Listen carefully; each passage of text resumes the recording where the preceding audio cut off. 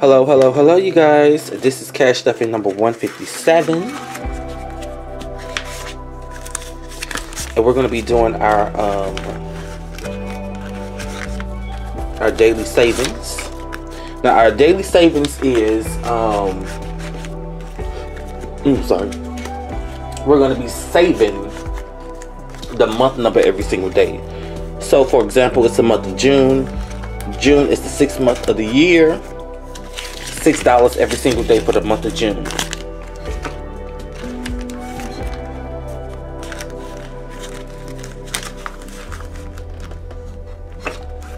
And that's it. Don't do don't do well or nothing happened to you in the past.